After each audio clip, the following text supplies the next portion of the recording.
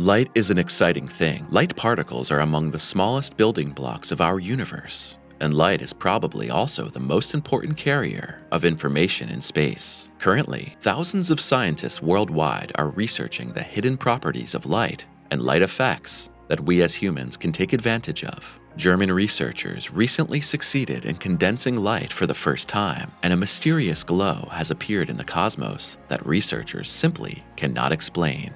We'll take a closer look at these two phenomena and other topics related to light in this video. Before we start, however, we would like to ask you to make an important contribution to our work. You can do that easily by subscribing to our channel now, activating the notification bell, and giving us a like at the end of the video if you enjoyed it. We'll get started now with the world's first light condensate.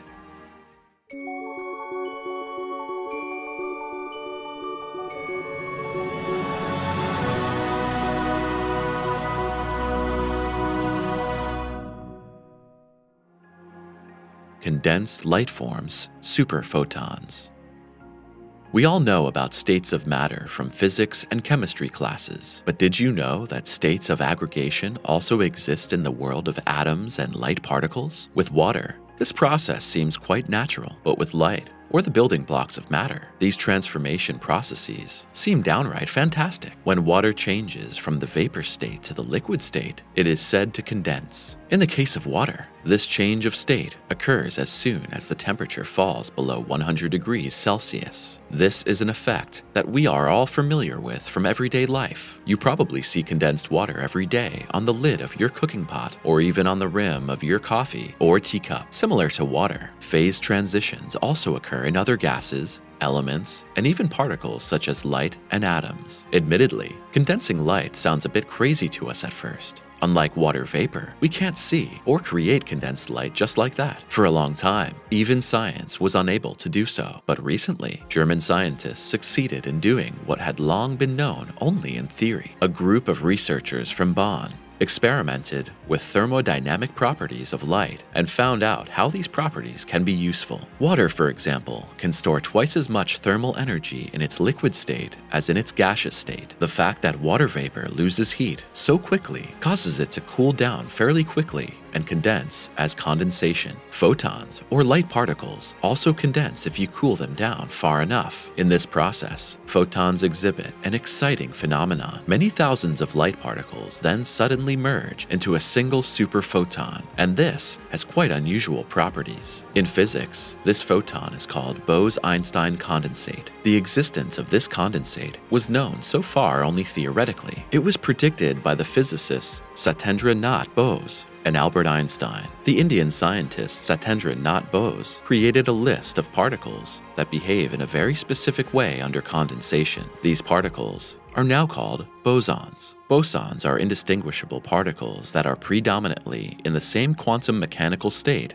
and form common systems. Bose and Einstein described the extreme aggregate states of these special particles, which also include photons and atoms. What Bose and Einstein predicted only in thought and mathematical models, scientists at the University of Bonn have now turned into reality. They have transformed photon gas into a condensate by cooling. In a laboratory experiment, this phase transition showed exactly the properties that Bose and Einstein predicted almost 100 years ago. Similar to water, light also shows a sudden increase in heat storage capacity during condensation. Martin Weitz of the Institute of Applied Physics told the press, this behavior was already known from condensing atoms, but this is the first time this phenomenon has been demonstrated for a condensate of light. Atoms also form a Bose-Einstein condensate. When they cool very strongly, they fuse into a giant atom and change their heat storage capacity. The heat content of the photon gas changes not only when it condenses into a giant photon, but also depending on the ambient temperature. Now, of course, we can ask ourselves what such experiments are good for in the first place. This is actually quite simple. On the one hand, it's still a matter of proving formulas that have existed so far only in theory. On the other hand, by studying the behavior of particles, researchers hope to find out about the building blocks and dynamics of our reality. Incidentally, in experiments like these, researchers keep finding effects that can be put to practical use. In the future, knowledge about the thermal properties of light condensate will facilitate the construction of high precision thermometers, and these are of great value in the work of scientists. Ghostly light around our solar system revealed. Researchers analyzing data from the Hubble Space Telescope have made a strange discovery. Our solar system is surrounded by light so fine and thin that it appears almost ghostly. If you take away all the light from stars, planets, and even the sunlight reflected by dust, there is always some residual light left in our solar system. Astronomers are puzzled by this phenomenon and are trying to find the source of this mysterious glow. As part of the SkySurf project, some 200,000 Hubble images were examined. When scientists removed all known sources of light from the images, they were left with a pale excess glow whose sources cannot yet be explained. The steady, faint glow suggests a previously unknown structure in our solar system. This mysterious structure could be a gigantic ball of the finest and hardly measurable dust, which envelops our whole solar system. This idea is supported by data from NASA's New Horizons mission. The probe passed the dwarf planet Pluto in 2015 and is now on its journey into interstellar space. New Horizons already detected a faint light source at the far edge of the solar system.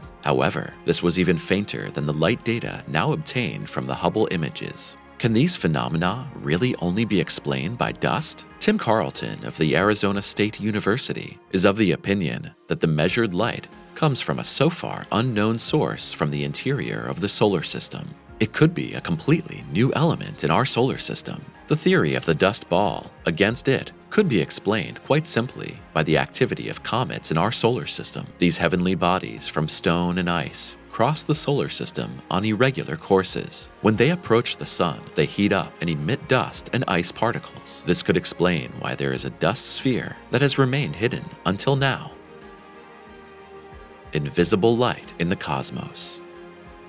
Light is basically nothing more than the visible part of electromagnetic radiation. Light itself consists of oscillating energy particles which in physics are called photons. Photons, in turn, consist of quanta. Our whole cosmos is filled with radiations in different frequency ranges. These always propagate in a straight line in waves. Rays change their direction only if they are deflected, refracted, or scattered by objects. The human eye can only perceive radiation in the wavelength range from 380 to 780 nanometers. We know this range as visible light. However, light also exists in other wavelength ranges that we humans cannot see. These include infrared, X-ray, and UV rays. Many objects, such as trees, plants, animals, but also we ourselves, do not seem to have any luminosity of their own. We normally only become visible when we are illuminated by the light of the sun or an artificial light source, such as a light bulb. If these two light sources are not present, it is pitch black for our eyes. Nevertheless, light exists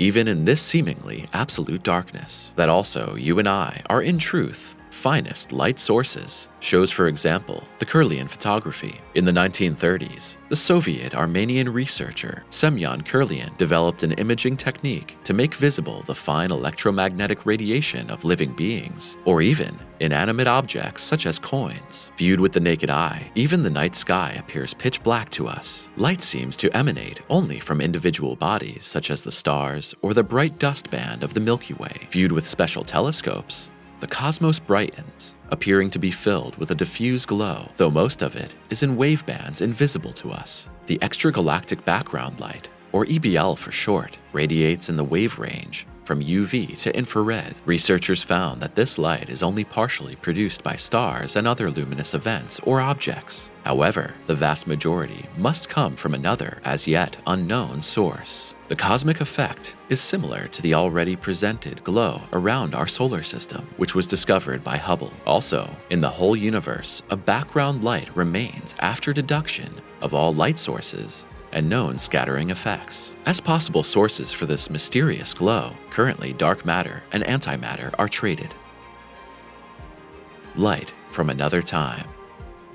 The cosmic microwave background radiation is also electromagnetic waves. Also, this kind of radiation is consequently a light potential to be, which we cannot see with our eyes, however. Researchers make the radiation of these waves visible by various filtering techniques. The cosmic background radiation is quasi the very first light of, the cosmos. It was very probably already a component of the Big Bang, and according to the latest theories, this invisible light radiation could be even far older. Researchers compared old measurement data from the 1990s with improved images. They found evidence of objects and radiation in the structures that date back to the time before the beginning of our cosmos.